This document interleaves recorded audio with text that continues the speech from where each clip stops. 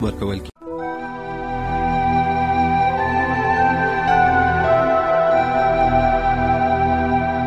د شپې داستان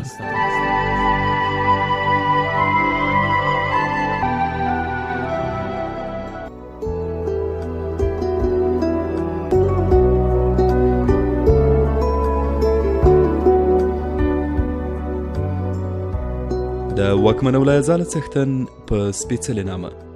د سپوږمۍ رادیو قدرمنو اوریدونکو او په ځانګړي ډول د شپې داستان خپرونې درنو مینوالو سلامونه ستړي مشئ او لرنګینې ډکه شپه مو بخیر دا د یو وار بیا مو زه سلیمي ورور د شپې داستان خپرونو په لړ کې د سینوه په زړه پورې ناول له یوې بلې برخې سره هرکلی کوم دا د فرعون د زمانې د حقایقو هنداره ده دا چې د فرعون په زمانه کې د پردو تر شا څه تیریدل کومې نیمګړتیاوې وې چې خلک یې د فرعون بندګۍ ته رابلل او بالاخره د فرعون له نیمګړتیاو او کمزوریو څنګه پرده پورته شوه دا ټول د سینوهله خاطرونه یو یو له تاسو سره په خپل نوبت شریکوو هیله ده د دغه په زړه پورې ناول تر دې دمه مو زموږ ملتیا کړې وي او د نن شپې داستان تر پایه هم راسره پاتې شئ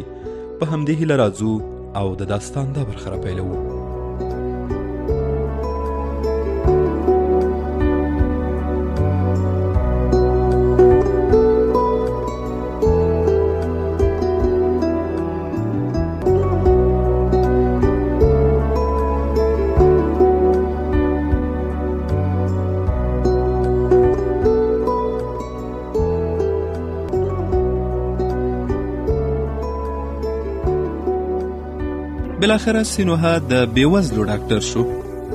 هغه د خپلو خاطرو په دوام لیکي یو ورځ چې په خپل کتنځای کې د ناروغانو په تمه وم ګورم چې د دربار یو ساتونکی راننوت او ویې پوښتل سینوها څوک دی ورته مې وویل زه یم هغه وویل ته پاتور احضار کړی یې ومې پوښتل پاتور چیرته دی ځواب یې راکړ هغه په سلطنتي ماڼۍ کې ستا په تمه دی پوښتنه مې ترې وکړه آیا ته نه پوهېږې له ما سره څه کار لري ویې ویل فکر کوم د پخواني فرعون د جنازې په هکله به وي زه پاڅېدم دربار ته لاړم او پاتور مې پیدا کړ سینوهه ته پوهېږې موږ وروستي کسان و چې فرعون مو معالجه کړ له همدې امله باید د هغه د جنازې مومیایي کول زموږ تر څارنې لاندې وشي ما ورته وویل ولې اوس دغه امر مونږ ته کوي ځکه چې که تېروتنه ونه کړم نو له یوې مودې راهیسې نور کسان په دې کار بوخت دي پاتور وویل د مومیایي کولو په دستور کې زموږ شتون تشریفاتي اړخ لري او له دې امله چې زه په دې کار کې برخه نشم اخیستلی دغه چاره تا ته سپارم ومې ویل اوس باید څه وکړم پاتور وویل ته باید اوس دارالممات ته لاړ شې او غوره دا ده چې خپل خواړه او جامې له ځان سره یوسې ځکه چې هلته به پنځلس ورځې ایسار شي او په دې موده کې به ته د فرعون د مومیایي کولو د وروستي پړاو څارونکی وې ومې ویل خپل مریی هم له ځان سره بوزم که نه ویې ویل غوره ده چې د مریی له بیولو ډډه وکړې ځکه هغه ستا په شان ډاکټر نه دی او په دارالممات کې به د ځینو شیانو د کتلو له امله حیران شي زه چې ډاکټر یم تر هغه وخته مې فکر کاوه چې د مرګ په هکله چې کوم شی د کتلو وي هغه مې لیدلی دی فکر مې کاوه داسې شی به نه وي چې له مرګ سره تړاو ولري او ما له نږدې نه وي لیدلی د دغه کتاب په سریزه کې مې وویل چې موږ مصري ډاکټران د جنازو مومیایي کول د طبي علومو برخه نه بولو ځکه چې دغه کار هغه عمل دی چې تخصص نه درلودونکی هم کولی شي خو کله چې د آرمنمات ته لاړم پوه شوم چې سخته تېروتنه مې کوله او زما تېروتنه له دې امله وه چې د ټولو مصري طبیبانو په شان ما هم تخصص په هغو کسانو پورې اړوند باله چې د دارالحیات له پوهنځي خلاص شوی وي موږ طبیبان له ډېرې ځان خوښونې څخه فکر کوو چې د متخصص کېدا یوازینۍ لاره دا ده چې انسان د طب ښوونځي ټول پړاوونه په دارالحیات کې بشپړ کړي او که څوک دغه ښوونځی بشپړ نه کړي متخصص نشي جوړېدای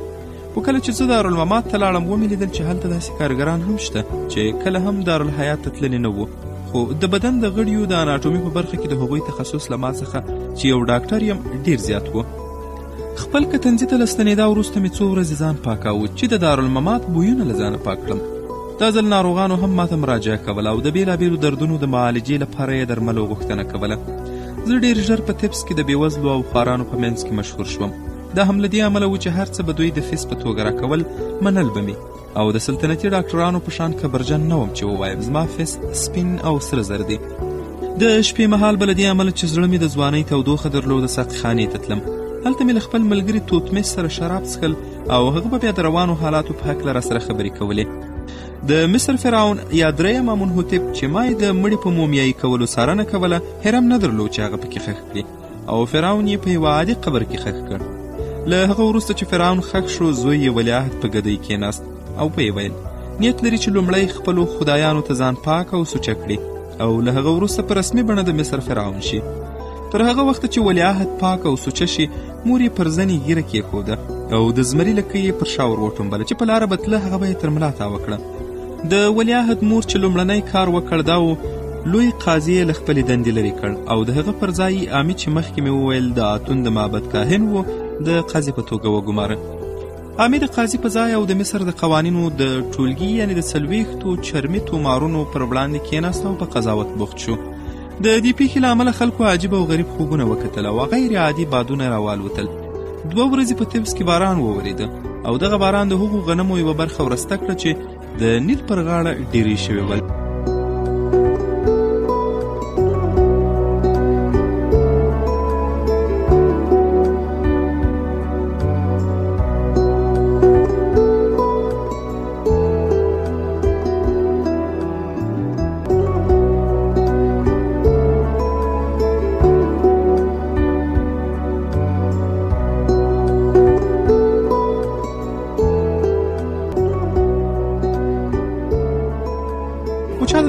له امله تعجب ونه کړ ځکه چې تل داسې کېدل او کله چې به د معبد کاهنین په قهر شول دغه ډول پیښې به ډېرې کېدې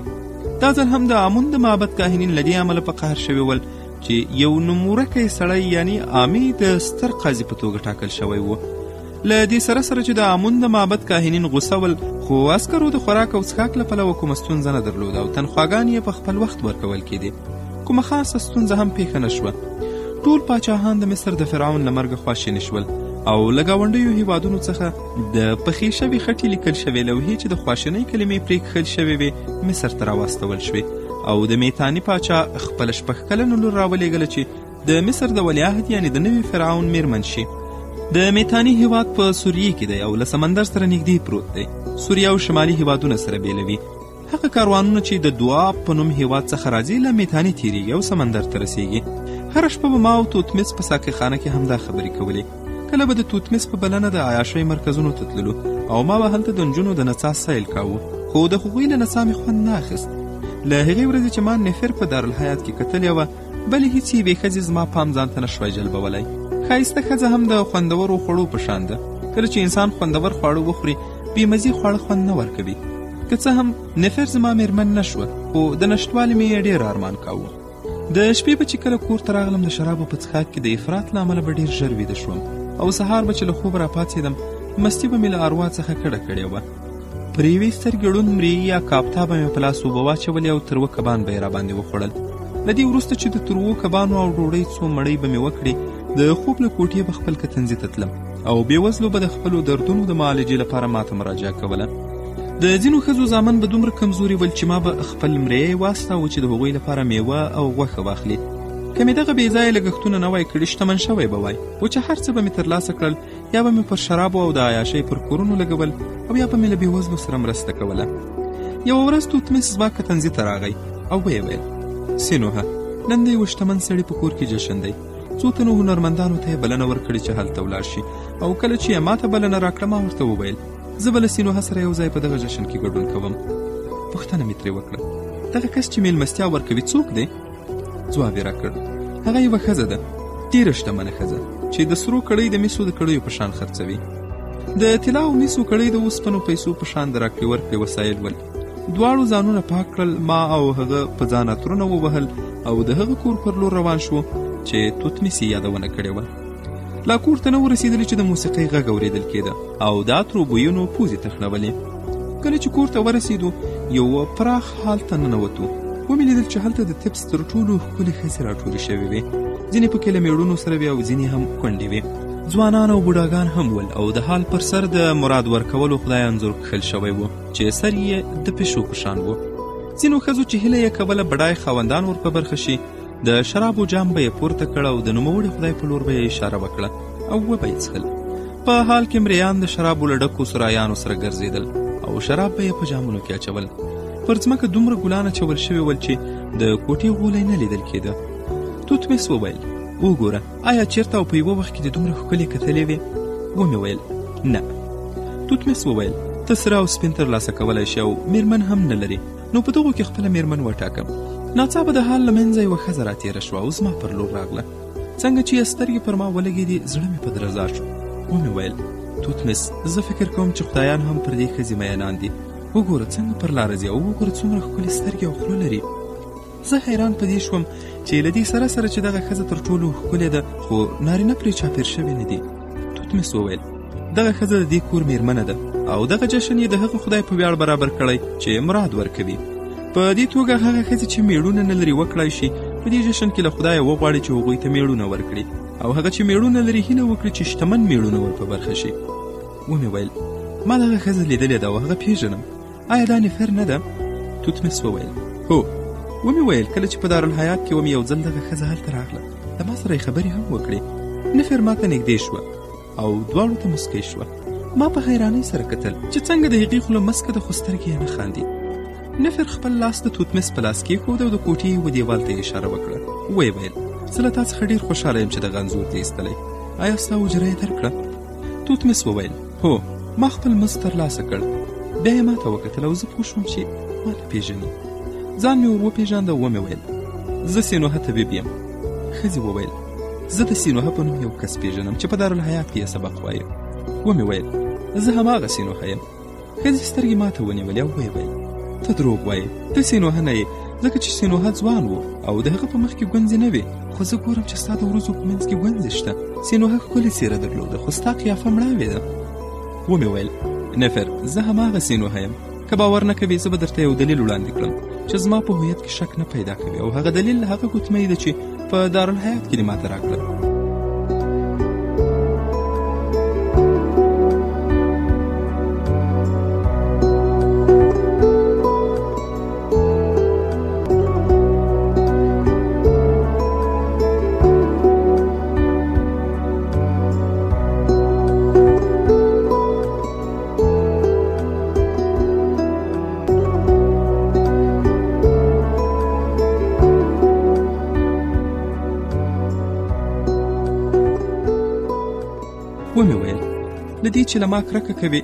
خپله ګوتمۍ بیرته واخله چې ستا یادګار له ما سره نه وي زه ځم او هیڅکله به ستا کور ته رانه شم نفر وویل زما ګوتمۍ در سره وساته ځکه چې دغه ګوتمۍ ستا لپاره ارزښت لري لږ داسې پیښیږي چې زه چاته ډالۍ ورکړم او له دې ځایه هم مځه کله چې زما میلمانه لاړل زه به له تا سره زیاتې خبرې ولرم په دې وخت کې ما یو مریې ته اشاره وکړه چې زما په جام کې شراب واچوي او هغه څه چې هغه ما ته راکړل تر ټولو خوندور شراب ول داسې شراب چې تر اوسه مې نه وو خوړلي ځکه پوهېدم چې پر نفر ډېر ګران یم که یې له ما کرکه کولای بیا یې ماته نه ویل چې د جشن تر پایه د هغې په کور کې پاتې شم ځینو میلمنو به په شرابو کې ډېر افراط له امله کانګې کولې او بې اختیاره به شول خو په دغه جشن کې دوو تنو ډېر شراب ونه خوړل یو کوربه میرمنې او بل ما چې غوښتل مې له هغې سره ډېرې خبرې وکړم کله چې د کوټې غولی له ماتو جامونو او سرایانو ډک شو نارینه او ښځې داسې بېخوده شول چې نور چا خبرې هم نه شوای کولی او نه یې څه اورېدل او سازیانو هم ساس بند کړ مریان راغلل چې هر یو خپل نشه بادار خپلو کورونو ته بوځي په دې وخت کې نفر ما ته راغله او زه یې هم د جشن له حاله بلې کوټې ته بوتلم په خپل څنګ کې یې کېنولم ما ترې پوښتنه وکړه چې دغه کور ستا دی هغې وویل هو دا سما دی ما وویل نو بیا خو ته ډېره شتمنه یې ښځې وویل په طبس کې په هغو ښځو کې چې له نارینه وو سره ساعتیري کوي تر ما شتمنې نشته بیا یې زما لاسونه وموښل ویې ویل ولې پر هغې ورځ چې ما بلنه درکړه زما کور ته رانغلې ومې ویل پر هغې ورځ زه له تا ویرېدلی وم ځکه چې ماشوم وم نفر وویل نو کله چې نارینه شوې له ډېرو ښځو سره څملاستې او هره شپه د عیاشۍ کورونو ته تللې ومې ویل هو هره شپه د عیاشۍ کورونو ته تلم خو تر دې شیبې چې له تا سره ناست یم یوه ښځه هم زما میرمن نه شوه نفر وویل ته دروغ وایې ځکه ناممکنه ده یو سړی هر شپه د عیاشۍ کورونو ته لاړ شي او د هغو کورونو له ښځو نه یوه میرمن انتخاب نه کړي ومې ویل هر ځل چې د دغه ډول کورونو کومه ښځه په زما پر لور راتلله ته به رایاده شوې او کله چې به ستا څېره را په یاده شوه پوه به شوم چې نور هغه ښځه راته ارزښت نه لري نفر وویل ته درواغ وایې او کله چې زه ستا میرمن شم په دې مسلې به پوه شم چې دروغ دي ویلي ومې ویل درواغ نه وایم او هیڅکله مې هم درواغ نه دي ویلي نفر وپوښتل اوس څه غواړې وکړې ما ورته وویل تر اوسه مې په خدایانو عقیده نه درلوده په خدایانو عقیده مې وهم او خیال باله اوس ځم او په ټولو معبدونو کې شکر کوم چې خدایانو زه له تا سره یو ځای کړم بیا قرباني کوم او له هغه وروسته ته راخلم او ستا د کور مخ به پاترو ډېر ښکلې کړم تر دې چې کله ته له کوره بهر وځې دا تروبۍ به احساس کړې او له بوټو او ونو به ګلان وشکه چې کله له کوره وځې ستا تر قدمونو لاندې به یې واچوم ښځې وویل دغه کار مه کوه ځکه چې ماته ارزښت نه لري زه په خپله هم عطر لرم او هم ګلان ستا عطرو او ګلانو ته اړتیا نه لرم که غواړې چې زه دې میرمن شم راځه باغ ته لاړ شو چې یوه کیسه درته وکړم ما ورته وویل نفر زما ته پکار یې ستا کیسه نه ښځې وویل که ما غواړې باید زما کیسه واورې ښایي رضایت درکړم چې نن شپه له ما سره ساعت تیر کړې نو غواړم له تاسو ډوډۍ وخورم بیا باغ ته لاړو ما چې د عکاسي ونو د ګلانو بوی احساس کړ داسې هیجاني شوم چې غوښتل مې نفر په غېږ کې ونیسم خو هغې له ځانه لرې کړم او ویې ویل لومړی باید زما کیسه واورې د سپوږمۍ رڼا حوز روښانه کړی و په اوبو کې ګلانو د شپې له امله خپلې خولې پټې کړې وې او د شپې مرغانو سندرې ویلې د ښځې له امر سره سم مرې سرې کړې هیلۍ او شراب راوړل او موږ خوراک او څښاک پیل کړ هر ځل چې ما غوښتل نفر په غېږ کې ونیسم هغې به ویل صبر وکړه لومړی زما کیسه واوره له هغه وروسته چې زما خبره دې ومنله بیا به زه ستا مېرمن شم خو د ځوانۍ هیجان مجبورولم چې هغه په غېږ کې ټینګه ونیسم او د هغې کیسه په نیمایي کې پرې کړم هغې ته مې وویل نفر آیا ممکنه ده په دې شپه کې او د سپوږمۍ په رڼا کې ستا خریل شوی سر ووینم ښځې وویل کله چې تا موافقه وکړه چې زه به ستا میرمن کیږم زه به خپل ساختګي ویښتان لرې کړم او اجازه به درکړم چې ته زما خریل شوی سر لمس کړې او هغه ووینې هیره دې نه وي چې له نن څلور زره کاله پخوا په مصر کې اشرافي او شتمنو میرمنو سرونه خریل او ساختګي ویښتان به یې کېښودل او د یوې ښځې پر وړاندې د یو نارینه تر ټولو ستر بریالیتوب دا و چې وکړای شي د هغې خریل شوی سر وګوري او یا هم لمس کړي پخوا د سات نه په نامه یو سړی و یوه ورځ د یوه کمساري کتاب د کتو لپاره معبد ته لاړ هلته یې یوه کاهنه ولیدله او په لومړي نظر کې پرې مین شو کله چې راستون شو خپل غلام یې هغې ښځې ته واستاوه پیغام یې ورولېږه چې کور ته ورشي او څو شیبې ورسره یو ځای شي په بدل کې به د سرو زرو یوه کړۍ ترلاسه کړي ښځې غلام ته وویل زه د ساتنه کور ته نه ورځم ځکه چې ټول خلک به ما وویني او داسې به وانګیري چې زه ځان ارزانه خرڅوم بادار ته دې ووایه چې زما کور ته راشي ځکه زما په کور کې څوک نشته ساتنه د کاهنې کور ته لاړ او د سرو یوه کړۍ یې هم له ځانه سره یوړه چې هغې ته یې ورکړي ښځه چې وپوهېدله دغه سړی د څه لپاره ورغلی دی ویې ویل ته پوهېږي چې زه یوه کاهنه یم او کاهنه ښځه ځان په ارزانه بیه نه خرڅوي ساتنه وویل ته وینځه نه یې چې واده خلم بلکې زه له تا داسې شی غواړم چې که یوه ښځه یې یو سړي ته ورکړي هیڅ تاوان نه کوي ځکه خو د دې شي بیه هر چیرته ډېره ارزانه ده کاهن یې وویل هغه څه چې ته یې له ما غواړې تر ټولو ارزانه او بې ارزښته شی دی او آن په واټونو کې د څارویو له خوشیو هم ارزانه دی او په عین حال کې تر ټولو ګران بیه شی هم دی دغه شی د هغو کسانو لپاره ارزانه دی چې ورته توجه نه کوي خو کله چې یو نارینه دغه شي ته توجه وکړي تر ټولو ګران بیه شی ترې جوړیږي او که دغه کس یې غوښتونکی وي باید په ډیره ګرانه بیه یې ترلاسه کړي اوس ته راته ووایه چې څومره راکوي چې د یوه ساعت لپاره ستا سره یو ځای شم ساعت نه وویل زه چمتو یم د دغو سرو زرو دوه برابره درکړم کاهینې میرمنې وویل دا زما په شان کې د یوې ښځې لیاقت نه لري او که ته ما غواړې هر څه چې لرې باید رایې کړې نارینه چې د کاهینې ارمان یې درلود وویل هر څه چې لرم هغه به درکړم په همغه شیبې کې یې کاتب راوغوښت او سړي خپل کور پټی مریان او ټول سره سپین د هغې ښځې په نوم کړل او بیا یې لاس وښت کړ چې د کاهنې ساختګي ویښتان لرې کړي او سر یې ښکل کړي خو ښځې یې مخه ونیوله او ویې ویل زه ډارېږم کله چې ته د یوه ساعت لپاره له ما سره یو ځای شي او کله چې موړ شي نو خپلې ښځې ته به ستون شي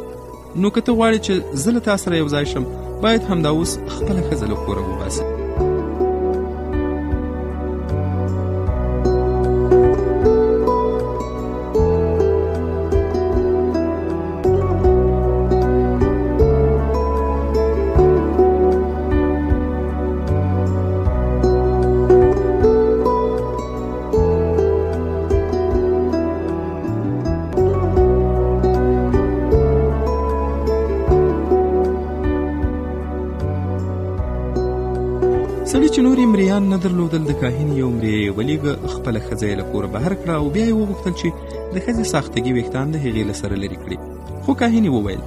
ته له دې ښځې چې له کوره دې وایستله درې زامن لري زه ډارېږم چې یوه ورځ به پلرنۍ مینه تا د هغو زامنو پر لور بوځي او ما به هېره کړې نو که غواړې خوند واخلې باید خپل بچان درته راولې چې زه یې ووژنم او د هغو د بدن غوښه خپلو سپیانو او پیشوګانو ته واچوم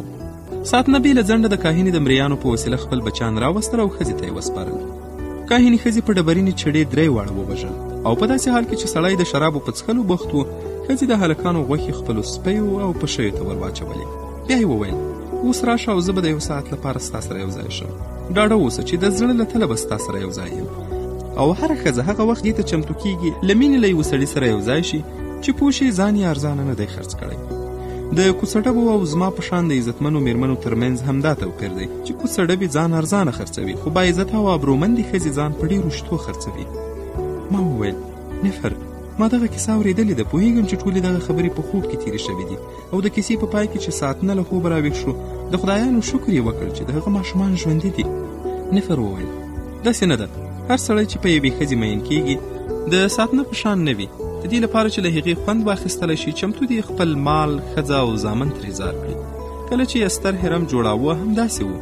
او کله چې باد او لمر هغه وران کړي بیا به هم همداسې وي آیا په دې پوهیږي د هغه خدای سر چې په مینه کې مراد ورکولی شي ولې د پیشي د سر په شان جوړ کړی ما وویل نه نفر نفر وویل د دې لپاره چې ووایي ښځه د پیشي د پنجو په شان ده او کله چې پښی وغواړي ښکار وکړي هغه غولوي خپلې نرمې پنجې پر هغه راکاږي ښکار له نرمو پنجو خوند اخلي خو نا بپره د پیشي د پنجو تیرې څوکې د هغه له نرم پوستکي راووځي او د ښکار په بدن کې ننوځي زه له دې امله چې نه غواړم تا ته کوم تاوان ورسېږي نو درته وایم چې سینوهه له دې ځایه ولاړ شه او بیا دلته مه راځه ما وویل نفر تا په خپل راته نن وویل چې درڅخه لاړ نه شم او دلته اوسم چې له تا سره خبرې وکړم ښځې وویل هو ما وویل خو اوس درته وایم چې ورځه د دې لپاره چې که غواړې له ما خوند واخلې ډېره به درته ګرانه شي او بیا به ماته ښیرا کوي چې تا ته مې دغه تاوان ورساوه ومې ویل زه به هیڅکله له تا څخه د تاوان ګیله ونه کړم او که ستا مقصد سره او سپین مس وي زه هر څه چې لرم تا ته به یې درکړم څو پرېمږدي خوند درڅخه واخلم